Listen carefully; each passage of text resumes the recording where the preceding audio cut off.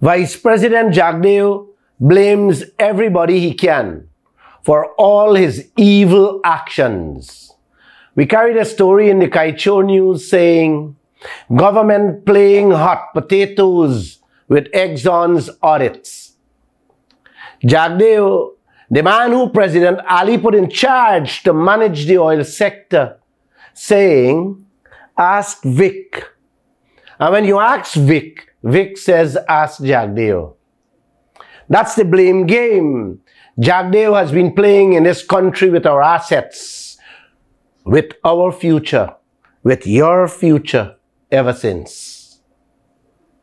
When he's cornered and don't want to answer a question that will reveal his true identity or where he stands on certain issues, he sends you to his underlings, the ministers and other go government officials, so that they can look bad in the eyes of the public and he comes out smelling like a fresh rose.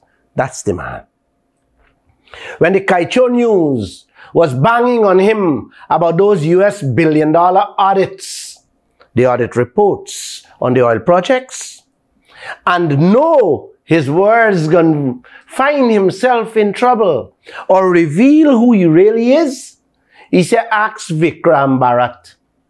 And when the reporter asked Vickram Bharrat, Vickram said, ask VP. Jagdeo has always been like that since he was president.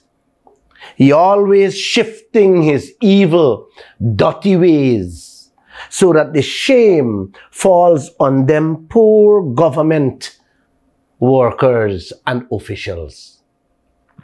Six times I asked him publicly, when will this nation see the mining contracts for we gold, we diamond, we bauxite, we timber, the manganese and others? And when he couldn't take it no more, he sent me to GRA and GGMC, knowing fully well that the heads of both agencies will not share that information without his permission. The same thing he did on this full liability insurance coverage from the parent companies. After constant banging in his ears on that, he shifted to the head of EPA, Mr. Parsram, to face the fire. Parsram, Stacia, Denison, Deodat, and Vickram Bharrat must feel shame and take the blame.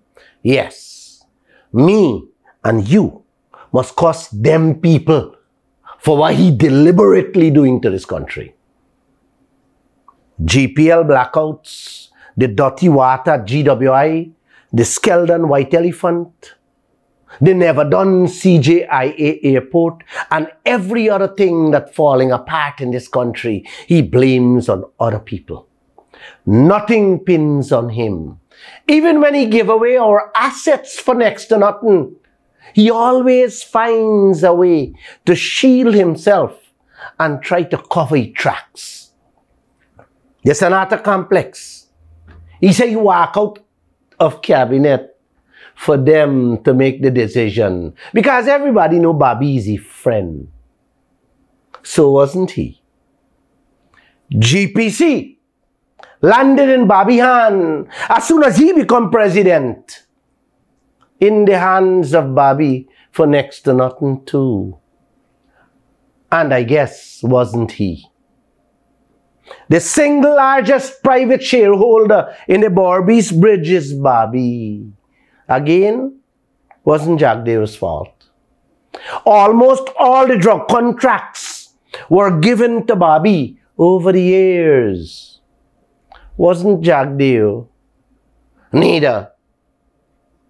It was the ministers. Liza, one, two, three. Audits.